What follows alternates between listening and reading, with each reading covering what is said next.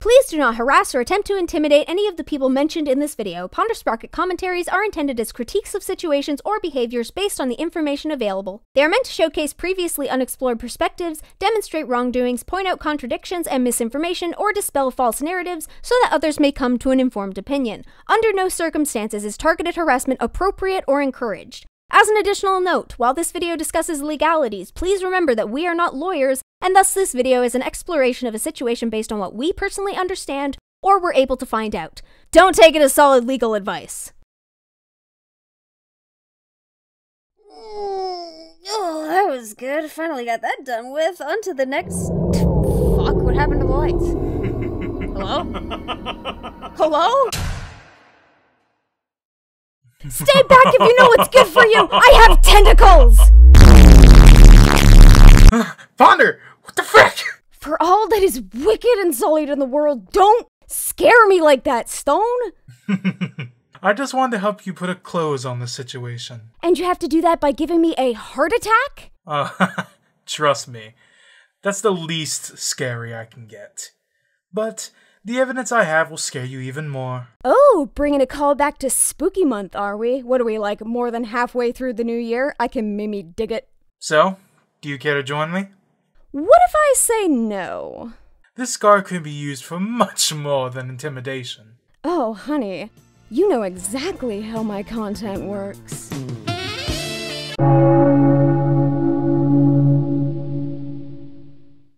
Welcome back, my cutie pies, to a final comprehensive look on the Madame situation and the various facets contained within. I imagine some of you are probably thinking, Madame, is she still relevant? And that's fine, that's fine, maybe this video just isn't for you. Stone and I, on the other hand, thought it would be interesting to look at the full scope of the entire situation, to go over a couple facets that people may not have taken into consideration, and to discuss the theoretical legal ramifications as best as we currently understand them. Not necessarily because we believe that they'll actually come about, but because, and considering this was also Ash's reasoning, surely she'll love this, knowing what sort of legal rights an artist has to protect themselves in instances like this could help smaller creators. So, uh, thanks for that, Ash. You may not have been able to do it with the Onision suit, but you still managed to pull it off. Top notch 3000 point IQ teaching method right there. If that sounds like your cup of tea, then hey, you're in luck. This is going to be a four parter.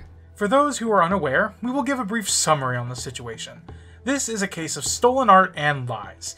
This is Madame, now known as Princess Ash. And despite many people knowing her as Madame, we're going to be referring to her as Ash. Why? Because it makes it easier for those new to the situation, but incidentally, potentially more confusing to my audience since I've already done a video about an Ashley, and I will be doing another one regarding another Ash. Right after this one. Oh well, you guys don't mind, right? Princess Ash asked a fan named Slimmers to make stills for her, and Slimmers agreed on the basis of her getting credit, but the terms weren't exactly rock solid. Fast forward to when Ash has the final stills and is now, according to her, working on the video in which she will be giving Slimmers the agreed upon shoutout. Ash used some of Slimmers' art in her 50,000 subscriber video, but the credit for that art wasn't given as Slimmers had expected it to be. A quick note on that, Nezzy Monster and I realized that the artwork used in that first thumbnail was actually Slimmers' fan art, and not one of the commissioned stills Ash had ordered from them.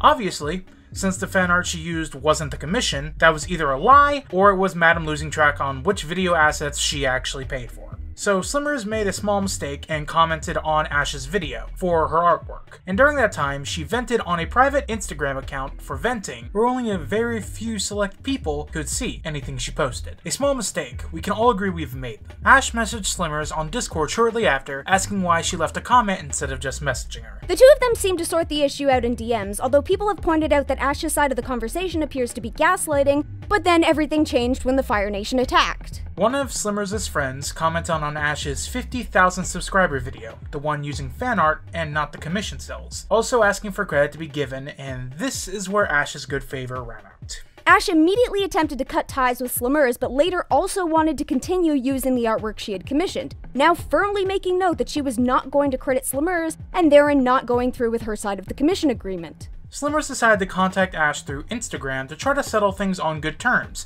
and continue to work together. Ash, however, was unwilling to compromise, and within one day, Ash decided to dox Slimmers by releasing a phone number Slimmers had given to her from a phone calling app, because Slimmers did not have a phone number at the time. The art community heard about the situation, and Ash has since fallen under further scrutiny as a pattern of behavior of her attempting to silence minors with threats was brought to light, as well as the potential that she might have lied about a legal situation she had previously spoken of on her channel, which happened to be one of the catalysts behind her channel's boost, bringing her to people's attention in the first place. It is those legal ramifications of the situation that we will be talking about today, as well as further expanding on the secondary situation with the stolen art. We will also be covering the response and interview part of the two hour long video video Ash made, which was copyright strike by Slimmers because Ash used the unpaid for stills. So everyone caught up? Good, because there are so many more layers to the situation we have yet to touch on. From here on, we'll discuss the possibilities of a legal battle between Ash and Slimmers. Again, we don't expect this to happen. We're just doing this for smaller creators to learn from.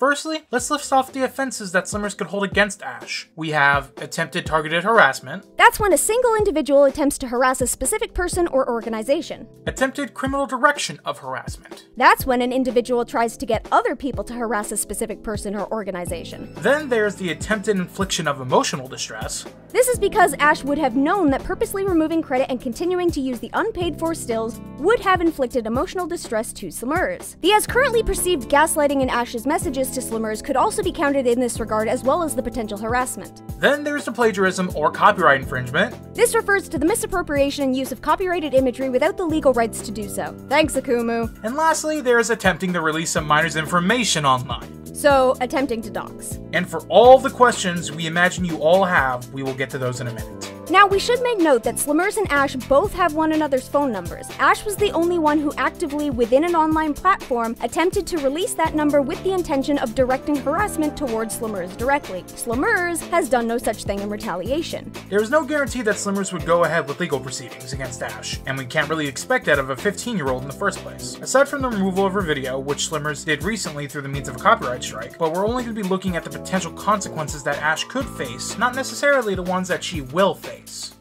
Firstly, the harassment. A lot of online crimes involve criminal behavior that crosses state lines, which turns them into federal issues. Ash specified that Slimmers lives in Missouri, and we've heard from Ash herself that she lives in Florida. Equally, the people Ash has been attempting to direct towards Slimmers in a harassment campaign likely live all over the country and potentially outside of it.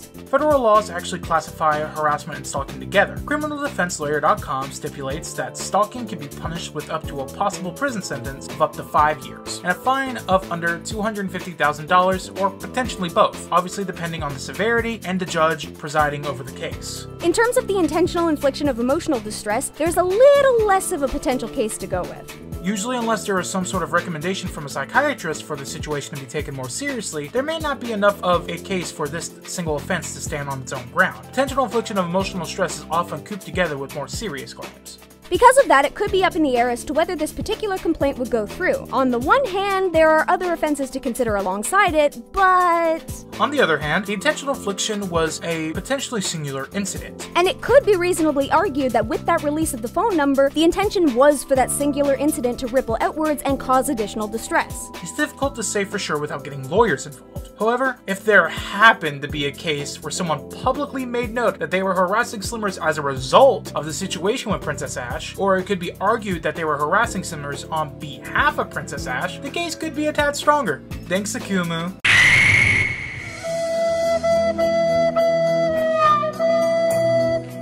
The last thing is doxing, which I mean, it, sh it should kind of go without saying. But I'll say it anyway. It's fucking illegal. Yeah, it doesn't really matter where you are. Doxing is illegal all across the board. Now, some of you might be wondering, oh, but Ash didn't actually dox Slimmers. She only tried to. Doesn't matter, honeys. That's a problem too. Attempting to dox can get a person into trouble just like succeeding in a dox can. There's a less harsh sentence given as a punishment for it, but the action demonstrates criminal intent and could still be considered harassment, intimidation, invasion of privacy, or even assault in extreme cases. Doxing can be legally fine in certain situations, provided the information was already publicly available, but the phone number that Ash thought to be Slimmers' personal phone number would not be considered already public information. Attempting to dox a person's personal phone number, particularly with the intent of harassment, as this would likely be considered, could be counted as either a misdemeanor or a felony charge. A misdemeanor could be punishable for up for a year in prison, and a felony charge could be up to three years in state prison. We already know the likelihood of it being Ash's intention to harass Slimmers, as she made a direct direct implication of her want for people to do just that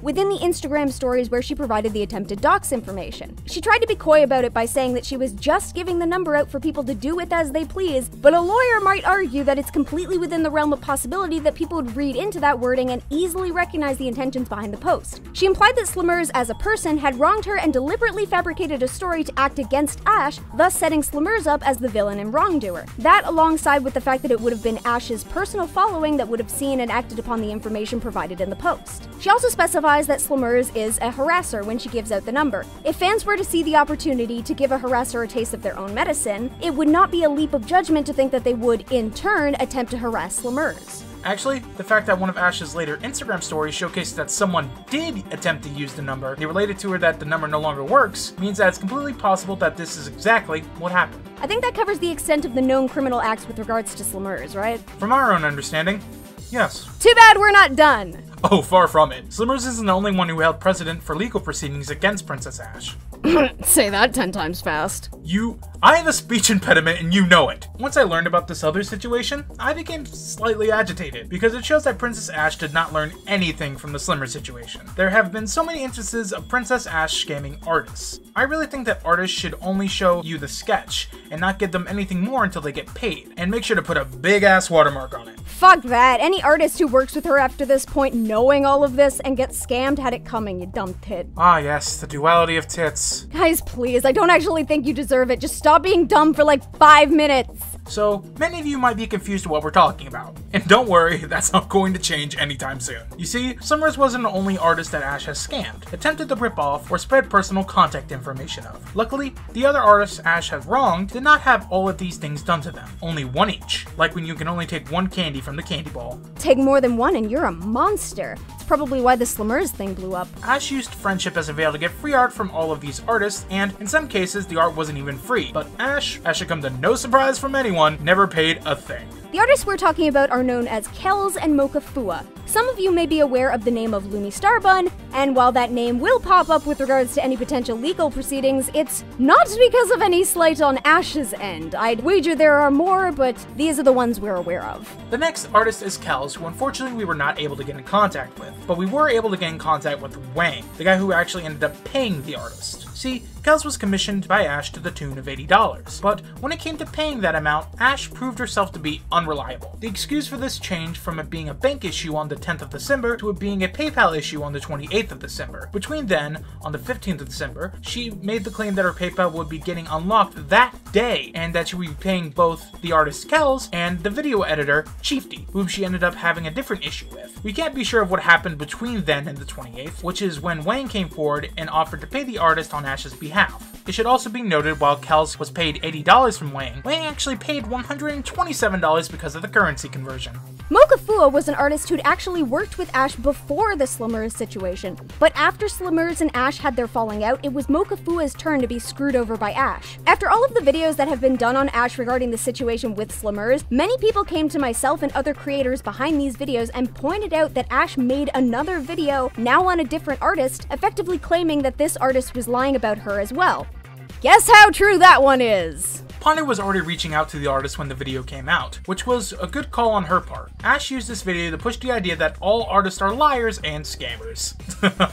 the irony. Ash actually made my job super easy. Want to know why? Because Ash revealed, yet again, a direct means for people to contact the artist in her video. Despite censoring Mokafua's name, Ash neglected to censor their business and commission email. And I can prove that this was a direct means of contacting Mokafua because it's how I contacted her and told her about the video existing. Are you aware that Ash just revealed your email in a public video where she claimed that you lied about her and tried to get artwork that she paid for removed from her merch store? Huh? What the hell? Wow, that's awful. I'm really not exactly sure what to do here. She did pay for one merch design, but I wasn't even gonna bother to try to get it back from her. It's not even in her name either. It's in Fan Fiber's possession now. She's going off some BS because that's literally what she told me, that the merch art would be in Fan Fiber's possession. Wait, paid for one merch design? Are you saying that there's potentially a second merch design that she was using without paying for? Is that the one you made note of her using without paying? Here's the video. Would you mind filling me in on your side of the story? I'm watching the video at the moment. I'm absolutely furious at her words. So yes, there is at least one design that wasn't paid for that is being used. I could try getting that piece in a moment. She did ask me if she could use it in her merch, but never actually paid me for it. So my side of the story is a bit short but simple. I had an interest in Ash's content because of her views on how sexism was in the gaming community and how certain women would exploit their gender for attention and money. I joined her Discord server and made a gift art. She enjoyed the art that I had made her and asked if I did commissions. I replied saying I do and that I was willing to do merch art for her. She only paid for one piece to be used as merchandise. By the way, her profile picture is my art. She said she'd credit me, and I told her that's fine. Since the Slimmers drama, my credit had been removed with no warning.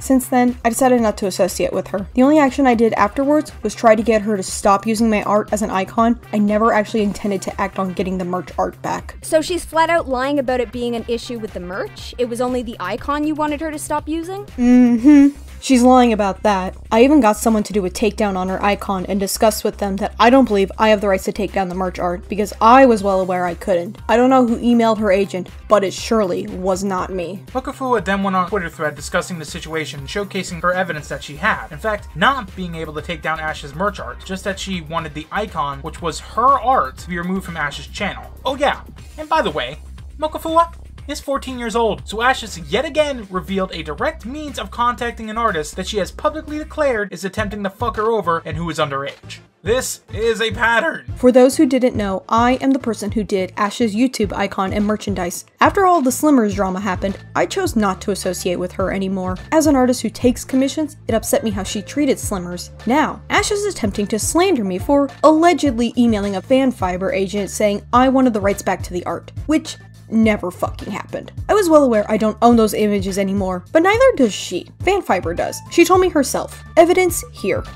Okay, great! I forwarded the Sisterhood design to my agent. Under contract, any design I send him, he has legal rights to now. Well, Fanfiber owns it, but they are happy to credit you if you wanted. But obviously, that's no form of payment, so I'd rather just PayPal you. Anyways, I looked at your prices. I'll double check later what matches the cute sisterhood design and will PayPal you once my agent implements your design into the shop. Additionally, when I announce the new design, I will credit and plug your social media. Please note that this is not a form of payment. I just want you to get more recognition. Does this sound alright to you, or is there anything on your mind? And what's your email to your PayPal? I will PayPal you when the merch goes live. This is actually another instance showcasing Ash's lack of knowledge as to how artistic copyright works. Right here, Ash is making the claim that she forwarded the image to her merch agent, which automatically grants them rights over the piece. But at this point, Ash hadn't paid Mokafua for the design and therein didn't own it. At this point, Ash didn't have the rights to transfer ownership of that piece, but still sent it out as though she did. Suddenly, her not understanding that the work she didn't pay Slimmers for still belongs to Slimmers is making a lot more sense now. After Mokafua explained that she didn't originally have a problem with Ash until the Slimmers thing came up, she further explains that it was only the icon she wanted removed and not the merch, which is what Ash publicly claimed in her video. The credit thing is, I'd assume, mostly on the behalf of the fan fiber, and I am really unsure how that could be managed. Hmm, that seems fairly complicated, because now there are agents involved and she's doing it through FanFiber not some DIY merch website. I don't think a DMCA notification on that would be valid. However, I'm fine with going through on the YouTube profile picture. Like, I believe the only thing I would take down would be the PFP art. Yeah, and like as I said with other people, I wouldn't know if I'd be able to get back one of the designs considering she's actually paid for it. I'll say this she's done it in a really sneaky way, lol. So it belongs to her and she gave the rights to fan fiber after. She's blatantly said she'd pay you and credit you but sort of said crediting is not a form of payment. Yeah, again, this is like my first time I've worked with someone like this, so it's iffy. Mm. But she did say that she'd credit you for the YouTube icon, yes? Yeah, it's in her Discord server, if that's even still up. She has a tendency to delete servers. This falls back into the pattern some people have recognized where Ash is bullying minors into either silence or into doing what she wants. She tends to send people after Slimmers with the number and then made a 3000 IQ video. Now she's made a video claiming that Mokafua is trying to affect her livelihood and has leaked this personal business email in a public video alongside that claim. I mean, I don't know how she keeps managing to pull this kind of shit off. Now we won't deny there's the possibility that Ash was maybe just given some bad information. Actually, it's potentially very likely. As well as forgetting to censor Mokafua Mokufua's email being a mistake and not deliberately done out of malice, as was done with Slimmers. Maybe someone at Fanfiber was emailed about this and they told her that someone was trying to get the merch removed. Except Ash actually provided evidence in the video to showcase that she had the rights to use the merch designs that were allegedly being removed. So why would she not check to see if this claim was actually true before making a public video about it? Since we're discussing the potential legal proceedings, this actually hurts Ash.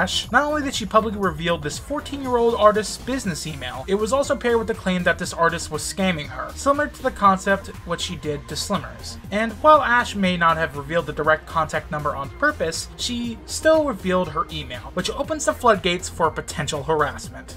That paired with the fact that Ash is making this public claim about the artist trying to scam her, which Mokufua could prove to not be true, that means that Ash is defaming Mokufua. She's making a false public statement in a video that would affect Mokufua's reputation, and then pairing that with the leaked business email, this action has the potential to affect Mokufua's livelihood and is, again, directed towards a minor. Given the title of the video was The Art Community Has a Lying Problem, all this points to is that it seems like Ash is trying to push the narrative that the artists are spreading around deplorable things that she's done and that they are all lying. But why would she want to make this claim? Maybe because it's not just her scamming artist that these art YouTubers are starting to point out and dig into. And finally, we have Lumi Starbun, who, yeah, probably can't sue Ash, but Ash could potentially sue her. We won't go into a whole lot of detail with this, but the artist Lumi Starbun, who did work for Ash for a temporary period of time, has allegedly been trying to, uh, well, what has she been trying to do?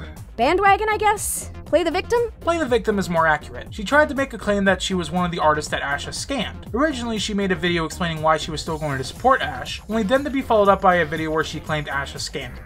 I actually got into contact with Lumia a while back asking if she could supply us with the screenshots of her being scammed by Ash. Yeah, guess who magically just happened to not have those specific parts of the transactions? There have been a lot more things going on with Lumi since then, so much that we're not going to get into it here. It's basically its own drama now, so if you're interested, just look up her name, and you'll find a plethora of material to listen to. Onision attracted Ash, and now Ash has attracted Lumi Starbun.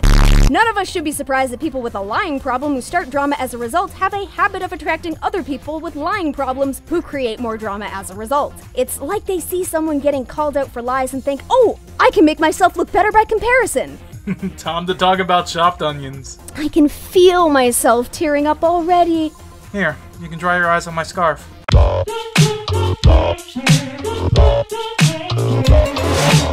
So, Onision.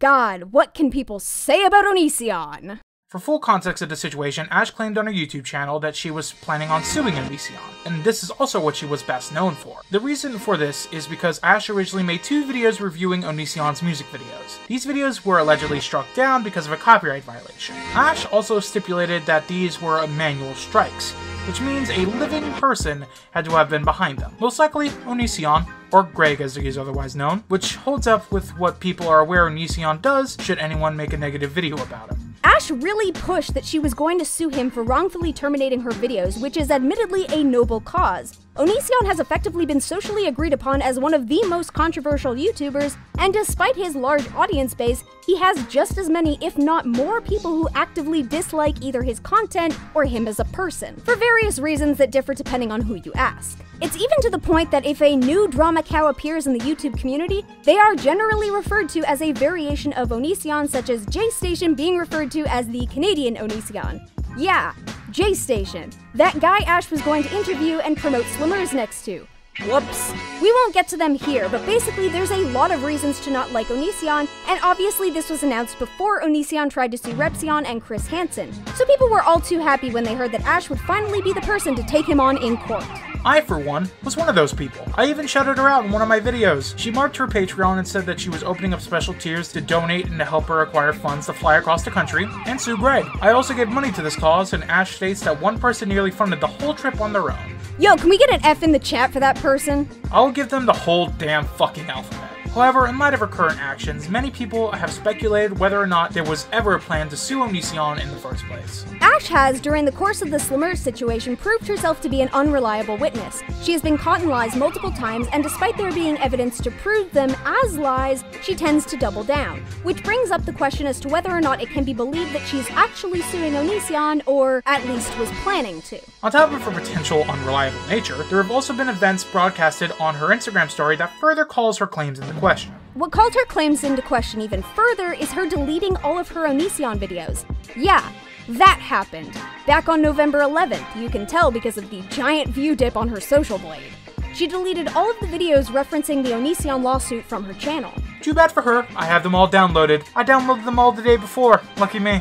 Now, at this time, Ash was supposed to be in Washington getting ready to sue Onision. According to her, most of the funds that were gathered were for the sake of travel expenses, as she would need to travel from Florida to Washington. But then the concert happened. Ah, yes, the concert. The Fire Nation attacks twice. Ash posted on her Instagram story that she was attending a Breaking Benjamin concert and a Three Days Grace concert while she was in Washington. Now, we should specify that tickets for this concert could have been potentially quite inexpensive depending on where she sat. Some tickets could be as cheap as $15. But people online thought this was her wasting money, and I will actually defend Ash on this point. People can live outside of the one thing that they are doing or well known for, but the way she presented herself with her actions before flying out, people thought she was using the money for a free trip to go see music shows. Now, if she actually used the money to travel to Washington for the purpose of the lawsuit, and she just so happened to be enjoying herself while she was there, or on her own dime, or on the dime of a friend, that would be perfectly fine, and she is perfectly within her right to enjoy herself, especially considering a lawsuit can be a tiring and stressful experience. Sometimes, little reprieve can might be necessary, and no one should falter for needing that.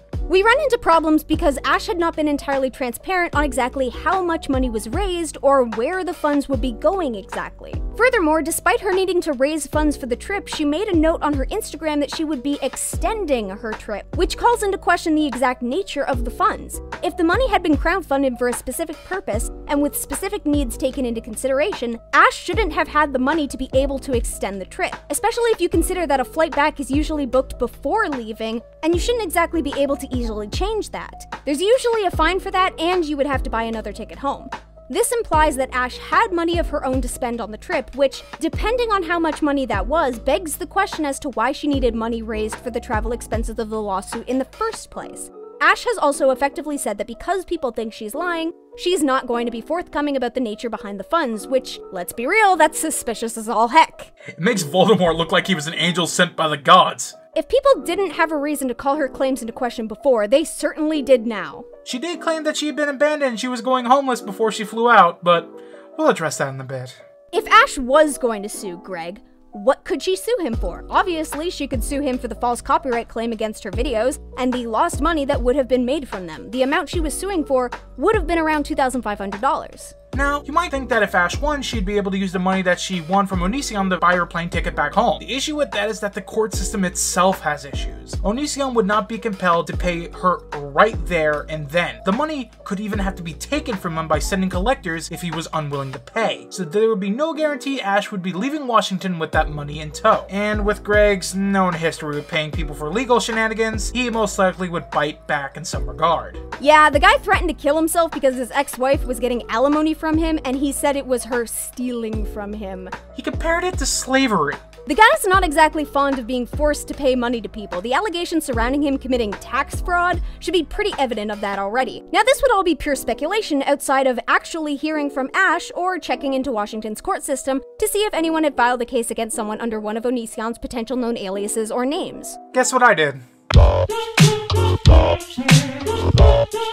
I was originally going to do this collab with someone else. No offense, Ponder. I am shooketh. Hello, Shooketh. I'm Stone. But I decided to find evidence that would stand on my own so that my video would stand out. I decided to look through the court records under all of Onision's legal names, and hmm, there were a lot. I removed any with middle names that weren't Greg's, kept in mind his last name with the wetlands to make sure I didn't get any false positives. We also searched various potential aliases or changed names that he might have had. While a lot of names did come up, they were from a variety of different dates, so it was just a matter of finding any court date within the time frame that Ash either could have filed a case against Onision or for when she claimed to have filed a case against Onision. Before October, any date that had Greg's name were in the most recent, in August. There was one recent case filed for October 7th, which would have actually been very close to the date Ash described in her Apology for Everything video, which we are going to be looking at later. Spoilers! It's not an apology! After we double checked the names again, I called the Washington Court District to check on the one case filed for Gregory Montez Jackson for October 7th, only to find out that it wasn't even a small claims case, it was a stupid freaking parking ticket. It had to have been after June 21st when Ash initially claimed to have filed a case against Onision, but we can't find any records of this suit despite her saying she had been working on it for three months at the time that this video was originally scripted. She said that she was preparing the papers August 27th, 2019, and her non apology video was her claiming that she had a friend record her walking into the courthouse. But if that were true, and the case had already been filed, basically anyone with internet access could check and see if it was true. Since then, we have not been able to find any evidence on Ash's side proving that she is suing Onision, because the court cases cannot be private. They need to be reported and logged. Allegedly, she claims she needs to fly to Washington to file the paperwork, but early in one of her Onision videos, she said that she could mail in her paperwork. I don't know how to fucking articulate this, I'm so sorry. But basically, for most counties and states, you would have to just like mail them paper, which is like the old fashioned way. But in his county, you can just do it online, which is really cool and it's really easy. Um, but unfortunately, my roommate had already printed out paperwork for me, so I just filled it out and sent it to them instead. because why not? I didn't want to waste a tree, okay? So now we have two different claims made at different times by Ash herself regarding when the paperwork was being filed, even how it was being filed. There was even a potentially later date she could have filed these papers on, and we will go into that towards the end of the whole thing. Her time frames and her positioning when it comes to the alleged court case is very confusing, and it doesn't make sense when put into the perspective of a crowd-funded lawsuit. The money for the suit was raised, according to Ash, as a means of living expenses for her being in Washington. It was primarily travel money. However, Ash is now back home, which seems weird if the lawsuit had actually been filed, because that suit will require her to be in Washington for the court dates. We also should bring up how we were confused on why Ash extended her trip when all of this started, because we knew that it would eat more into the travel expenses. Additionally, if the money had been crowdfunded, then the funds she has available for this case are limited. Suddenly not going home instead of just doing it in the time frame she originally was planning to would just be eating more into the money without using it for its intended purpose. Now, granted, if something came up and there was a certain amount within the crowdfunded money to use for instances where something went wrong, that would be one thing. But Ash actively changing plans and changing up her travel arrangements, and during the time of the trip, would eat into the funds that potentially didn't exist to solve those issues. Which begs the question of what the funds were specifically being used for.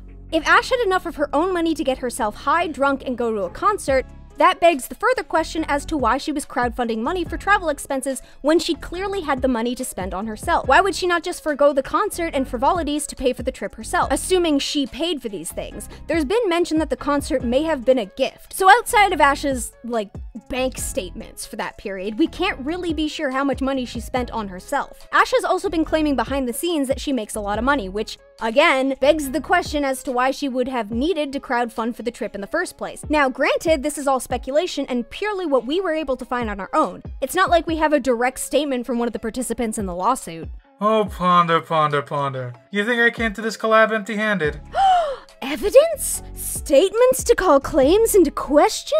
Das hot. Ah, das hot. Hot is right. I can burn with both lightning and ice. I actually did what a lot of people wouldn't. I directly emailed Onision, myself. He refused an interview, but I did get his word stating that Ash has not sent any paperwork to him of the sort. Gonna be real, if you had gotten an interview with him, I probably wouldn't have done this collab. While it could potentially be argued that Onision's word can't really be trusted and that he has proven himself to have a very long track record of lying so as to avoid making himself look in the wrong, at this point, Ash has a similar pattern of behavior. So if we can't trust Onision on his word with no evidence given, can we really trust Ash? Now that's hot right there. I might burn myself on this tea. Careful then, we're only a quarter way through and it's hard to talk with a burned tongue. On top of that, Onision himself had issued a protection order, the legal court proceeding for which took place on January 24th between himself, the YouTuber Repzion, and the investigative journalist Chris Hansen. Which would have never worked in the first place, let's be honest, as well as he filed it to the wrong Chris Hansen. The important point here is that the community was very aware of this lawsuit happening, not just because it was against Repzion, who's well known in the community for actively criticizing Onision's actions, and Hansen, who was actively investigating Onision and claims made against him at the time, but also because, in general, there's a spotlight on Onision right now, and people are hyper focusing on various facets surrounding him. If Ash had filed a suit against Onision, there's no way that the community wouldn't know about it. Even if Onision didn't talk about it himself, he's under so much scrutiny right now that someone would have found the court records. Even Repzion himself went looking to see if Ash was telling the truth, and of course, he found just as little as we did. And now Ash has removed the Onision videos, abandoned her original Patreon, and seems to be making no mention of the suit in the hopes that people will just forget that she ever tried that. Which again, F in the chat for anyone who paid for that legal fund. Tune in for part two over on Stone's channel, where we'll be going into a commentary on Ash's apology but really non apology video. Click on the link in the description for that. Meet you in the darkness. Guess we know now whether or not Stone has his fun with the lights on or off. Ponder! And of course, before we vanish into a puff of darkness, we'll need a little light to check out these awesome fan art pieces some cutie pies have made. First up, we have Raise the Balance by Drinks with some squishy cute tentacles to love and snuggle and a happy looking little octo buddy. I also find the little octopus icons in either corner to be absolutely adorable. Swinging into Savia, it's Not All Heroes Wear Capes, Some Have an Octopus on Their Butt by At Art Auline, perfectly accentuating some real Ponder strength, as well as some paired tentacle strengths to match. A perfect combo. Looking ready to go, it's Pondering Sprockets by Foxy Moron Garden, really putting a lot of fun expression into both characters' faces and wonderfully contrasting the blue and purple with some lovely dynamic yellow and orange. Very cool. As a return to cuteness, we have A Teeny Ponder by Leech Juice, giving us some sweet, comfy, huggy snuggles. I also like that Fiend's tentacles are basically everywhere. Very fitting considering how many he has. Bubbling up from below, it's Ponder Sprocket by The Starry Lamb, featuring some chibi goodness with a beautiful undersea background to accompany it. I love all the curves and the chubby look of everything, as well as the extra added detail to Fiend's eye. Very nice. For additional squishy chubby fun, we have Octomom by Moths. Can I just say that I absolutely love the style Ponder Sprocket was drawn in here? It looks so clean and soft and really gives off the vibe that she's huggable and fun. And that little heart in Fiend's eye is just such a cute accent. Because snuggles are a trend, here's Warm Up by Hot Pink 3. Aw, these buddies look so heckin' cute. I also love that it looks like Fiend is ruffling Ponder Sprocket's hair. It's got a nice, you did good kid vibe to it. Swooping across the city, it's Ponder Sprocket to the Rescue, fan art gift by C. Celestial. Nice name. Pretty nicely demonstrating how Ponder Sprocket and Fiend actually cooperate to move around. I love surprise canon accurate pieces, and the posing here is just lovely, paired with that lovely sky. Ooh. Ready to shine, here's Octomama by Cal Cole, and I hope I said that right, with some, can I just say, super nicely done lighting. The way Ponder Sprocket's hair is drawn here is so cool, and it gives me this awesome intense anime vibe. The giant titties probably also help with that. Next is Original Character Don't Steal by At Thorn Illustrate, who I guess wanted me to be left completely speechless by the hilarity of this piece and those expressions. Congratulations, Thorn, you did it. I don't know why, but I look at this and my brain just goes swoop, there it is! Pointing out the issue, we have Ponder Sprocket Octomama Above All Octomamas by Tanky the Great, with an absolutely awesome sketch and digital painting paired design. I love how the piece draws your focus to the arm and face, and then the sketch lines sort of accent the rest of the form. It's very nice. And finally, we'll end off with some innuendo in The Officer That Went Deep by my good friend Weird. You can tell because there's a little weird ball down in the corner. We got some lovely high angle perspective, clearly he knows me too well, paired with a serious face and some tentacles that look like they're about to do some grabbing. Better start running. If you like any of these pieces, please don't hesitate to show the artist some love through the links provided in the description. You can also check out B, my artist's work, if you're so inclined, DeviantArt, Twitter, Patreon, you know the drill. Thanks for taking this plunge with me, my cuties. See you in the next video. Octomama, out.